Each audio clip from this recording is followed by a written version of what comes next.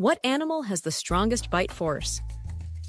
In the depths of the ocean, the mighty saltwater crocodile reigns as the animal with the strongest bite force, measuring an astonishing 3,1700 pounds per square inch. This prehistoric predator, often growing over 20 feet long, is a master of stealth, lurking just beneath the water's surface.